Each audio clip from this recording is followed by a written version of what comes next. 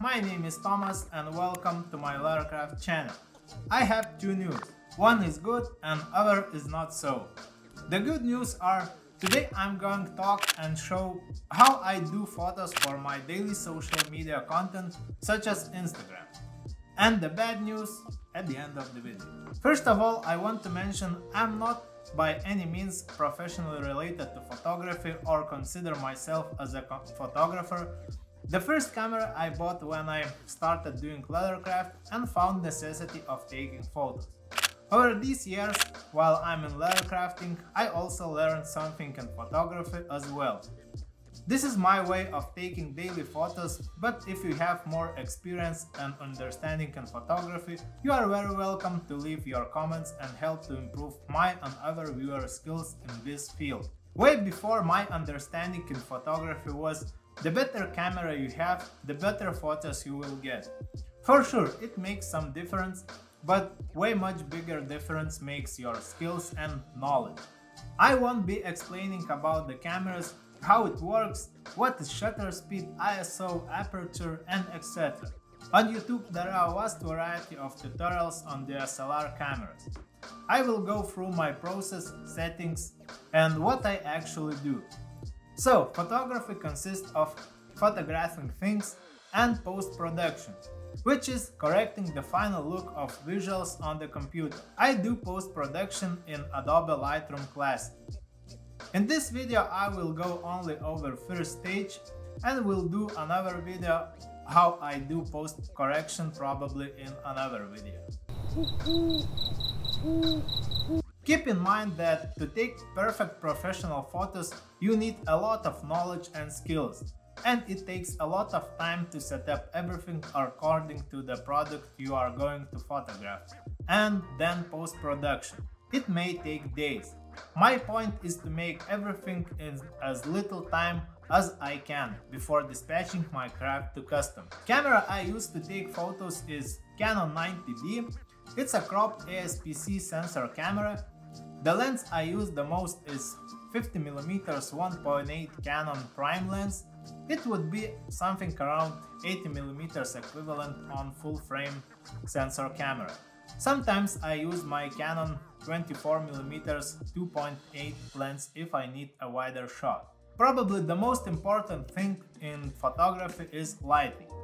I would say 95% of my photos I do under natural light near the window. In the first half of the day, when the window doesn't get the direct sun, then the light is soft and does not create harsh shadows. Sometimes I use my Godox SL60 LED lights if it's necessary for me to take photos and there is not enough light through the window. And the main pro of using natural light for me, it's time. I don't need to set up lighting every time.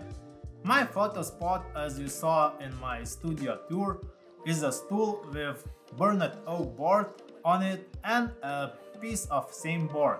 It's pretty convenient as I can place a board in any direction I want. I set up the camera on a tripod and connect it via USB cable to the computer. Then I use uh, Adobe Lightroom to do tethered capture, which means I press the shutter button on the computer and immediately see the photo on the screen. It's super convenient as you immediately see how the photo looks and can adjust everything in your setup the way you want your photo to look.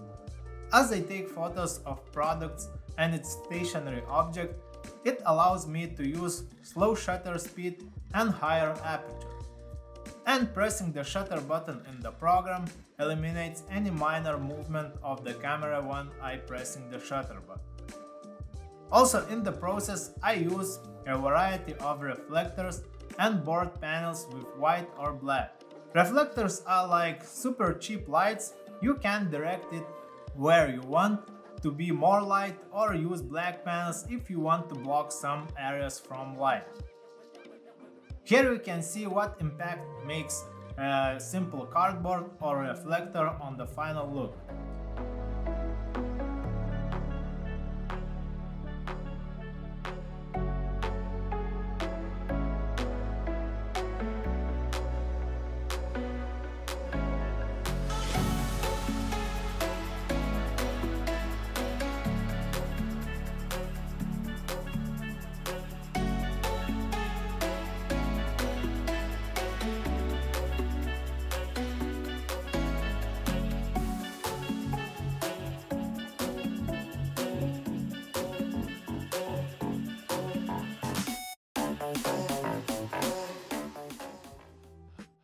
Such boards you can make by yourself, cheap reflectors you can find in AliExpress, I will leave the links in the description.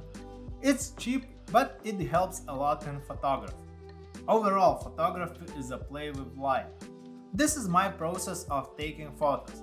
After I took some of them, I choose a few I think look the best and they then make post correction in Adobe Lightroom. This process I will show in my next video. Okay, few more tips. Usually I put some kind of thing, for example cardboard under the card holder I am photographing to slightly separate it from the background. It helps a bit in a post correction. Also, it's cool to add to your photo some spice with various things, but it's all about your creativity and your style. Just experiment and find what you think looks the best for you.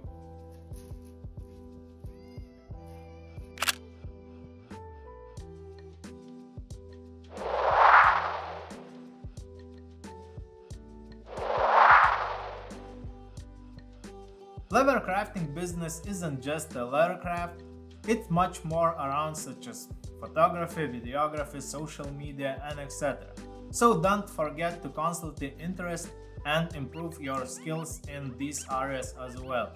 That's it. If you like my crafts and would like to have one of them, you can order it at my webshop strhandmade.com or also there you can find PDF templates and make any of my designs by yourself. If you can, please support my channel by joining channel members. Your questions and critique are very welcome in the comment section. Any type of your support would be appreciated. Don't forget to press the like button and subscribe if you haven't yet. Thanks for watching and see you next time. Bye! And the bad news is that nowadays photo content in social media such as Instagram gets less and less reach and spread and it's harder and harder to reach potential customers organically. In the last Instagram algorithm update, photo content is almost killed for spreading, and now these TikTok style videos are trending and all the companies are trying to promote this kind of content. Of course, you can't produce these videos for everyday content, We'll see, but the fact is that photo content is no longer the best way to grow your business on social media.